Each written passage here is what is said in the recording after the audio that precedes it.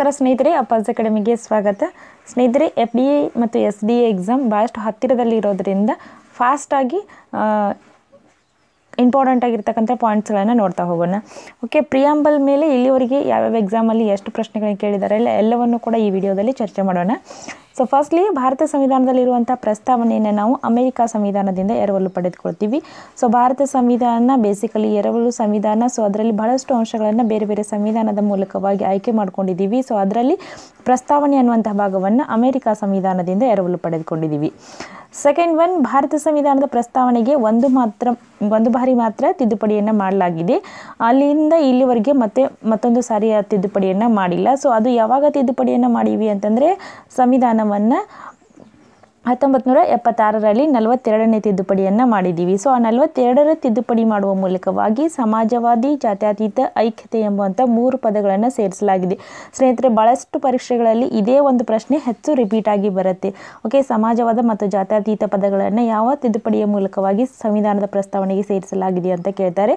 So forty second amendment ಇದನ್ನು ನೆನಪಿನಲ್ಲಿ ಇಟ್ಕೊಳ್ಬೇಕಾಗತ್ತೆ. Next ಒಂದು ನೋಡೋದಾದರೆ, ಭಾರತ ಸಂವಿಧಾನದ ಪ್ರಸ್ತಾವನೆಯು ಭಾರತದ ಪ್ರಜೆಗಳಾದ ನಾವು ಅನ್ನುವಂಥ ಶಬ್ದದ ಮೂಲಕವಾಗಿ ಪ್ರಾರಂಭ ಆಗತ್ತೆ.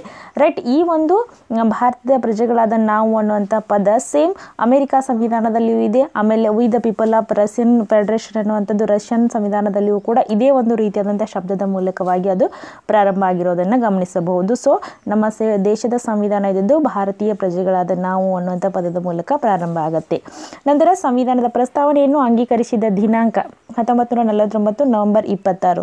ಸೊ ನವೆಂಬರ್ ಇಪ್ಪತ್ತಾರನ ನಾವು ಸಂವಿಧಾನದ ದಿನವನ್ನಾಗಿ ಈ ಈ ಒಂದು ಇದರ ನೆನಪಿಗಾಗಿಯೇ ಸಂವಿಧಾನದ ದಿನವನ್ನಾಗಿ ನವೆಂಬರ್ ಇಪ್ಪತ್ತಾರನ್ನು ಆಚರಣೆ ಮಾಡ್ತೀವಿ. ಸೊ ಸಂವಿಧಾನವನ್ನು ಅಂಗೀಕರಿಸಿದ ದಿನ ಅಂತ ಕೇಳಿದರೆ ಹತ್ತೊಂಬತ್ತು ನೂರ ನಲವತ್ತೊಂಬತ್ತು ನವೆಂಬರ್ ಇಪ್ಪತ್ತಾರು. ಸಂವಿಧಾನ ಜಾರಿಗೆ ಬಂದ ದಿನ ಅಂತ ಕೇಳಿದರೆ ಹತ್ತೊಂಬತ್ತು ಐವತ್ತು ಜನವರಿ ಇಪ್ಪತ್ತಾರು. ರೈಟ್, ಭಾರತದ ಸಂವಿಧಾನದ ಪ್ರಸ್ತಾವನೆಯು ಭಾರತದ ಪ್ರಜೆಗಳಾದ ನಾವು, ಭಾರತವನ್ನು ಒಂದು ಸಾರ್ವಭೌಮ ಜಾತ್ಯ ಸಮಾಜವಾದಿ, ಜಾತ್ಯತೀತ, ಪ್ರಜಾಸತ್ತಾತ್ಮಕ ಗಣರಾಜ್ಯವನ್ನಾಗಿ ಮಾಡಲು ಸಂವಿಧಾನ ಅಂಗೀಕರಿಸಿ ಸಂವಿಧಾನವನ್ನು ನಮಗೆ ನಾವು ಆತ್ಮಾರ್ಪಣೆಯನ್ನು ಮಾಡಿಕೊಂಡಿದ್ದೇವೆ ಅಂತ ಹೇಳ್ತೀವಿ. ಪೂರ್ತಿಯಾಗಿ ಬರಲಿಕ್ಕೆ ಹೋಗಿಲ್ಲ. ಸೊ ಇಲ್ಲಿ ಇರ್ತಕ್ಕಂಥ ಶಬ್ದಗಳನ್ನು ನೀವು ಗಮನವಿಟ್ಟು ನೋಡ್ಕೊಳ್ಬೇಕಾಗತ್ತೆ. ಸಾರ್ವಭೌಮ, ಸಮಾಜವಾದಿ, ಜಾತ್ಯತೀತ, ಪ್ರಜಾಸತ್ತಾತ್ಮಕ, ಗಣರಾಜ್ಯ ಇವುಗಳನ್ನು ನೆನಪಿನಲ್ಲಿ ಇಟ್ಕೊಳ್ಬೇಕಾಗತ್ತೆ ರೈಟ್? ನಂತರ ಭಾರತ ಗಣರಾಜ್ಯ ಆಗಿದ್ದು ಯಾವಾಗ ಅಂತಂದರೆ ಹತ್ತೊಂಬತ್ತು ನೂರ ಐವತ್ತು ಜನವರಿ ಇಪ್ಪತ್ತಾರು ಅಂತ ಹೇಳ್ತೀವಿ. ಸಂವಿಧಾನ ಪ್ರಸ್ತಾವನೆಯನ್ನು ತಿದ್ದುಪಡಿ ಮಾಡಬಹುದಾಗಿದೆ. ನಾವು ಈಗ ಒಂದು ಸರಿ ತಿದ್ದುಪಡಿಯನ್ನು ಮಾಡೀವಿ. ಹಾಗೆಯೇ ಇನ್ನೂ ನಮಗೆ ಬೇಕಾದರೆ ಇನ್ನೂ ಮತ್ತೆ ನಾವು ಸಂವಿಧಾನದ ತಿದ್ದುಪಡಿಯನ್ನು ಮಾಡಬಹುದಾಗಿದೆ. ಈ ಅಂಶವನ್ನು ಕೂಡ ನೆನಪಿನಲ್ಲಿ ಇಟ್ಕೊಳ್ಬೇಕಾಗತ್ತೆ. ಸಂವಿಧಾನದ ಪ್ರಸ್ತಾವನೆಯಲ್ಲಿರ್ತಕ್ಕಂಥ ಪ್ರಮುಖ ಪದಗಳು ಆಗಲೇನೂ ಕೂಡ ನಾನು ಹೇಳಿದೆ. ಅವುಗಳನ್ನು ನೆನಪಿನಲ್ಲಿ ಇಟ್ಕೊಳ್ಳಿ. ಭಾರತದ ಪ್ರಜೆಗಳಾದ ನಾವು ಸಾರ್ವಭೌಮ, ಸಮಾಜವಾದಿ, ಜಾತ್ಯತೀತ, ಪ್ರಜಾಸತ್ತಾತ್ಮಕ, ಗಣರಾಜ್ಯ, ನ್ಯಾಯ, ಸಮಾನತೆ, ಸ್ವಾತಂತ್ರ್ಯ, ಭಾತೃತ್ವ, ಐಕ್ಯತೆ. ಒಟ್ಟು ಹನ್ನೊಂದು ಪದಗಳನ್ನು ನೀವು ನೆನಪಿನಲ್ಲಿ ಇಟ್ಕೊಳ್ಬೇಕಾಗತ್ತೆ. ಇದರಲ್ಲಿನ ನ್ಯಾಯ ಅನ್ನುವಂಥ ಕಾನ್ಸೆಪ್ಟನ್ನು ನಾವು ಹತ್ತೊಂಬತ್ತು ನೂರ ಹದಿನೇಳರ ರಷ್ಯಾ ಕ್ರಾಂತಿಯ ಪ್ರೇರಣೆಯಿಂದಾಗಿ ಪಡೆದುಕೊಂಡ, ಪಡೆದುಕೊಂಡಿರುವಂಥದ್ದು. ನಂತರ ಸ್ವಾತಂತ್ರ್ಯ, ಸಮಾನತೆ, ಭಾತೃತ್ವ ಅನ್ನುವಂಥ ಪದಗಳ ಎಂಬ ಮೂರು ಪದಗಳೇನಿದಾವಲ್ಲ ಇವು ಮೂರು ಪದಗಳನ್ನು ನಾವು ಹದಿನೇಳುನೂರ ಎಂಬತ್ತೊಂಬತ್ತರ ಫ್ರಾನ್ಸ್ ಕ್ರಾಂತಿಯ ಪ್ರೇರಣೆಯಿಂದ ಇವುಗಳನ್ನು ಪಡೆದುಕೊಳ್ಳಲಾಗಿದೆ. ನಂತರ ಒಂದು ದೇಶದ ಮುಖ್ಯಸ್ಥರನ್ನು ನಾವು ಜನರಿಂದ ನೇರವಾಗಿ ಅಥವಾ ಪರೋಕ್ಷವಾಗಿ ಆಯ್ಕೆ ಆಗ್ತಾ ಇದ್ದರೆ ಆ ದೇಶದ ಸಂವಿಧಾನ ಆ ದೇಶದವನ್ನು ನಾವು ಗಣರಾಜ್ಯ ಅಂತೇಳಿ ಕರಿತೀವಿ. ಓಕೆ, ಭಾರತದ ರಾಷ್ಟ್ರಪತಿಗಳಿದ್ದಂಥವರು ಅಪ್ರತ್ಯಕ್ಷವಾಗಿ ನಮ್ಮ ಮೂಲಕವಾಗಿ ಆಯ್ಕೆ ಆಗ್ತಾರೆ. ಅದು ಎಲೆಕ್ಟ್ರಾಲ್ ಕಾಲೇಜ್ಗಳ ಮೂಲಕವಾಗಿ ಅವರು ಆಯ್ಕೆ ಆಗುವಂಥದ್ದು. ಹಾಗಾಗಿ ಭಾರತ ಒಂದು ಗಣರಾಜ್ಯ ರಾಷ್ಟ್ರ ಅಂತ ಹೇಳ್ತೀವಿ ನಾವು. ನೆಕ್ಸ್ಟ್ ಗಣರಾಜ್ಯ ಎಂದರೆ ರಾಷ್ಟ್ರಪತಿ ಹುದ್ದೆ ಆರಿಸುವಂಥದ್ದು ಅಂತ ಇಲ್ಲಿ. ನೆಕ್ಸ್ಟ್ ಜಾತ್ಯತೀತ ಈ ಪದವನ್ನು ನೀವು ಗಮನವಿಟ್ಟು ನೋಡಿ ಬಿಕಾಸ್ ನಿಮ್ಮ ಸಾಮಾನ್ಯ ಕನ್ನಡ ಪತ್ರಿಕೆಯಲ್ಲಿ ಕಾಗುಣಿತಗಳನ್ನು ಪರೀಕ್ಷೆ ಮಾಡು ಮಾಡು ಮಾಡುವಂಥ ಪ್ರಶ್ನೆಗಳಿರುತ್ತೆ. ಅದರಲ್ಲಿ ಈ ಪದ ಜಾಸ್ತಿ ಬಾರಿ ಕೇಳಿರುವಂಥದ್ದು ಸೊ ಜಾತ್ಯತೀತ ಅಂತಂದರೆ ಎಲ್ಲ ನಾಗರಿಕರಿಗೂ ಧಾರ್ಮಿಕ ಹಾಗೂ ಪೂಜಾ ಸ್ವಾತಂತ್ರ್ಯವನ್ನು ನೀಡುವುದು, ಯಾವುದೇ ಧರ್ಮವನ್ನು ಆಚರಿಸಲಿಕ್ಕೆ ಅವಕಾಶವನ್ನು ನೀಡುವುದು. ಇನ್ ಅದರ್ ವರ್ಡ್ಸ್ ಭಾರತ ಸರ್ಕಾರ ಇದ್ದುದು ಯಾವುದೇ ಒಂದು ನಿರ್ದಿಷ್ಟ ಜಾತಿಯನ್ನು ಅನುಕರಣೆ ಮಾಡುವುದಿಲ್ಲ ಅಂತ ಅರ್ಥ. ಪ್ರಸ್ತಾವನೆಗೆ ಸಂವಿಧಾನ ಸಂಬಂಧಿಸಿದ ಪ್ರಮುಖ ಪ್ರಕರಣಗಳು. ಸೊ ಇದು ವೆರಿ ಇಂಪಾರ್ಟೆಂಟ್ ಬೇರುಬಾರಿ ಪ್ರಕರಣ ಹತ್ತೊಂಬತ್ತು ನೂರ ಅರವತ್ತರಲ್ಲಿ ಜಾರಿಗೆ ಬಂದಿರುವಂಥದ್ದು ಸೊ ಈ ಪ್ರಕರಣದಲ್ಲಿ ಸುಪ್ರೀಂ ಕೋರ್ಟ್ ಏನು ಹೇಳುತ್ತೆ ಅಂತಂದರೆ, ಪ್ರಸ್ತಾವನೆಯು ಸಂವಿಧಾನದ ಒಂದು ಭಾಗ ಅಲ್ಲ ಅಂಥೇಳಿ ತೀರ್ಪನ್ನು ನೀಡುತ್ತೆ. ನಂತರದಲ್ಲಿ ಕೇಶವಾನಂದ ಭಾರಸ್, ಭಾರತಿ ವರ್ಸಸ್ ಕೇರಳ ಸರ್ಕಾರ, ಇದು ಬಹಳಷ್ಟು ಸಾರಿ ರಿಪೀಟ್ ಆಗಿರುವಂಥ ಪ್ರಶ್ನೆ. ಹದಿನೋ ಹತ್ತೊಂಬತ್ತು ನೂರ ಎಪ್ಪತ್ತ್ಮೂರರಲ್ಲಿ ಈ ಪ್ರಕರಣದಲ್ಲಿ ಸುಪ್ರೀಂ ಕೋರ್ಟ್ ತೀರ್ಪಿನ ಪ್ರಕಾರ ಪ್ರಸ್ತಾವನೆಯು ಭಾರತ ಸಂವಿಧಾನದ ಒಂದು ಭಾಗ ಅಂತ ಹೇಳುತ್ತೆ. ನಂತರದಲ್ಲಿ ಮೂರನೇದು ಎಲ್ ಆಫ್ ಇಂಡಿಯಾ ಕೇಸ್ನಲ್ಲಿ ಹತ್ತೊಂಬತ್ತು ನೂರ ತೊಂಬತ್ತೈದರಲ್ಲಿ ಸಂವಿಧಾನ ಭಾರತದ ಪ್ರಸ್ತಾವನೆ ಏನಿದೆಯಲ್ಲ ಈ ಪ್ರಸ್ತಾವನೆಯನ್ನು ಸಾರಿ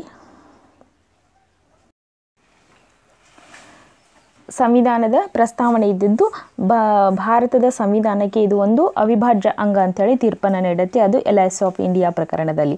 ನಂತರ ಬೇರೆ ಬೇರೆ ಎಕ್ಸಾಮ್ಗಳಲ್ಲಿ ಸಂವಿಧಾನದ ಪ್ರಸ್ತಾವನೆಯ ಮೇಲೆ ಹೇಗೆ ಹೇಗೆ ಪ್ರಶ್ನೆಗಳು ಬಂದಿದೆ ಅಂತ ನೋಡೋಣ. ಸೊ ಫಸ್ಟ್ ಒನ್ ಭಾರತ ಸಂವಿಧಾನದ ಪ್ರಸ್ತಾವನೆಯನ್ನು ಯಾವುದರಿಂದ ಆರಂಭ ಆಗತ್ತೆ ಅಂತ ಕೇಳಿರೋದು ಎಸ್ ಡಿ ಎ ಹತ್ತೊಂಬತ್ತು ನೂರ ತೊಂಬತ್ತೆಂಟರ ಪರೀಕ್ಷೆಯಲ್ಲಿ ಕೇಳಿರೋದು ನಾವು ಭಾರತೀಯರು ಅನ್ನುವಂಥ ಪದದ ಮೂಲಕ. ಇನ್ನು ಎರಡನೇದು ಭಾರತದ ಸಂವಿಧಾನದ ಪ್ರಸ್ತಾವನೆಯಲ್ಲಿ ಯಾವ ವ್ಯಾಖ್ಯಾನವ ಕಾಣಿಸಿಕೊಳ್ಳುತ್ತದೆ ಅಂತ ಕೇಳಿರೋದು ಎಸ್ ಡಿ ಎ ಎರಡು ಸಾವಿರದ ಹನ್ನೊಂದರಲ್ಲಿ ಸಾರ್ವಭೌಮ ಸಮಾಜವಾದಿ, ಜಾತ್ಯತೀತ, ಪ್ರಜಾಸತ್ತಾತ್ಮಕ ಗಣರಾಜ್ಯ. ಇದನ್ನು ಸೀರಿಯಲ್ ವೈಸ್ ಆಗಿ ಕೇಳಿರೋದು ಇಲ್ಲಿ. ನಂತರ ಭಾರತ ಸಂವಿಧಾನದ ಪ್ರಸ್ತಾವನೆಯಲ್ಲಿ ಭಾರತವನ್ನು ಏನನ್ನು, ಏನನ್ನಾಗಿ ಮಾಡುವ ದೃಢ ಸಂಕಲ್ಪ ಮಾಡಲಾಗಿದೆ ಅಂತ ಎಸ್ ಡಿ ಎರಡು ಸಾವಿರದ ಎಂಟರಲ್ಲಿ ಕೇಳ್ತಕ್ಕಂಥ ಪ್ರಶ್ನೆ ಇದು.